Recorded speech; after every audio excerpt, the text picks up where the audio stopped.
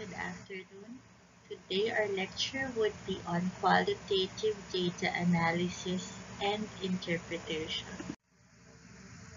What is data analysis? It's an attempt by the researcher to summarize collected data. How we interpret data is how we attempt to find meaning in the data that we have collected. And how do these differ by research tradition? It could either be quantitative or qualitative. Data analysis during collection. Analysis is not left until the end.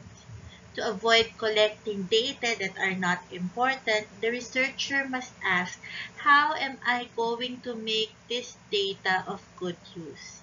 As you collect data, the researcher must ask himself or herself, why do participants act as they do? What does this focus mean? And what else do I want to know? And what new ideas have emerged from the data collected? Is this new information? After data collection, data analysis could also be done in these ways. Become familiar with the data through reading and memoing.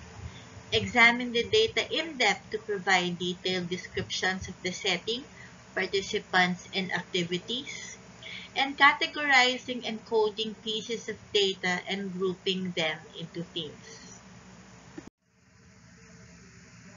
Usually, it's summarizing. It's the first time you sit down with your data it's the only time you come to that particular set fresh. You read and memo. You describe, you develop comprehensive descriptions of setting, participants, etc. And you classify. You break your data into analytic units, categories, and themes. Strategies would include identifying themes, you begin with the big picture and list themes that emerge. You code qualitative data so that you could reduce data to manageable forms. This would be often done by writing notes, using note cards, and sorting them into themes. Into predetermined categories versus emerging categories. How to make coding manageable? Could make photocopies of original data you read through all the data, cut and paste blocks of text onto index cards, group cards having similar labels, and revisit to see if clusters still hold together. Use of concept map could also be utilized to analyze antecedents and consequences and related themes and concepts throughout your data collected. It would display findings and state what's missing in your data collection so that you could interpret and answer these four questions. What in your data is important and why? What can we learn from it? And what's its significance? Remember, your interpretation would wholly depend on the perspective of the researcher. So one technique for data interpretation is extending the analysis by raising questions. We connect findings to personal experiences such that we seek the advice of critical friends. We contextualize findings in the research and eventually elevate these things to theory. We have to ensure credibility are the data based on one's own observation or is it hearsay? Is it a corroboration by others of the observation? In what circumstances was an observation made or reported?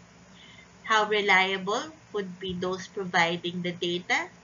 What motivations do they have and biases that may have influenced how an observation was made or reported? Mixed methods. It's a combination of quantitative and qualitative techniques. So under what circumstances might mixed methods work? And under what circumstances might mixed methods not work? So these are the advantages of your qualitative versus quantitative technique for research. You just browse this. Definition of mixed methods, a style of research that uses procedures for conducting research that would be typically applied both quantitative and qualitative studies. Purpose of these designs is to build upon the synergy and strength that exists between quantitative and qualitative methods in order to more fully understand a given phenomenon that is possible using either quantitative or qualitative methods alone. The research problem itself determines the choice of a design. Examples, the use of surveys to identify specific groups of students and conducting focus groups with them to understand their values. Or a series of interviews are conducted to ascertain the critical issues bothering students and a survey of the student body is conducting using these issues as variables. There are three types of designs the priority given to either the quantitative or qualitative, the sequence of quantitative and qualitative, and the techniques used to either combine the analysis of data or keep the two types of data separate. Common designs would be predominantly qualitative quantitative model. Qualitative data is collected first and are more heavily weighted. As to a quantitative qualitative model, the exploratory mixed methods design, quantitative data are collected first and are more heavy weighted. Then you have your quan-qual model. This is your triangulation mixed methods design, which would have concurrently and both weighed equally quantitative and qualitative data. So note, note that your abbreviations quan and qual are obvious and your order and capitalization matters for which is the dominant perspective and which is weighed more heavily. So these are the 10 characteristics of mixed methods design. The title of the research includes terms that suggest more than one method is being used. So both quantitative and qualitative methods are used in this study. So the researcher describes the kinds of mixed methods being used. The data collection section indicates narrative, numerical, or both types of data are being collected. The purpose statement or the research questions indicate the types of methods being used. Questions are stated and described for both quantitative and qualitative approaches. The researcher indicates the sequencing of collecting qualitative and or qualitative data.